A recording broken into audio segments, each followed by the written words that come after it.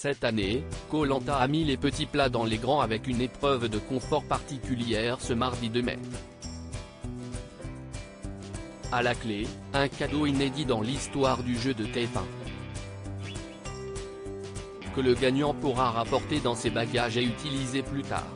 Chaque saison, Koh-Lanta offre d'incroyables conforts aux aventuriers, à commencer par de la nourriture, le bien le plus précieux quand on se retrouve à la diète forcée pendant des semaines, à devoir se battre dans des épreuves physiques.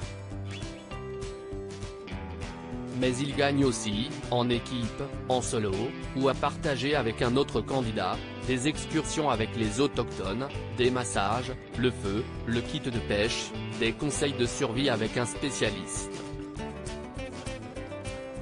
Koh-Lanta 2023, l'épreuve du tir à l'arc offre l'opportunité de rentrer en contact avec ses proches dans cette saison du feu sacré, l'enjeu majeur des épreuves de confort réside dans la possession du talisman, qui permet à l'aventurier qui le détient de se protéger ou d'immuniser l'aventurier de son choix, y compris dans l'équipe adverse, au conseil suivant. Mais les aventuriers ont aussi eu droit de vivre des moments marquants hors du camp. Les jaunes ont notamment pu labourer avec des agriculteurs locaux et leurs buffles lors de l'émission 3 diffusée le 7 mars dernier, Quentin et Fred ont pu participer à une plongée afin de participer à la préservation des coraux et réaliser l'impact du réchauffement climatique dans les océans lors de l'épisode 10 diffusé le 25 avril. Après 28 jours de privation, la traditionnelle et cruelle épreuve du tir à l'arc permet aux candidats de bénéficier d'un confort réconfortant, souvent à partager. Koh-Lanta, le feu sacré, Gilles remporte deux billets d'avion. Pour cette épreuve de confort, récompensant le gagnant au jeu du tir à l'arc, les candidats étaient donc préparés à contacter leur famille. Essen réjouissait dès l'entraînement sur la plage.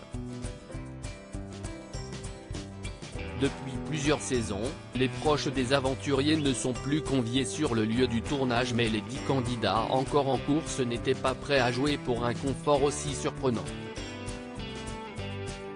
En jeu, un repas gourmand dans un cadre magnifique, hors du temps, composé de porc à l'ananas, riz frit et de flan coco au caramel, un coup de fil aux proches et une nuit dans un hamac offert au vainqueur de l'épreuve, Gilles, ainsi que le candidat qui l'a convié avec lui, en l'occurrence Nicolas, au grand désespoir de Quentin qu'il a vécu comme une vraie trahison.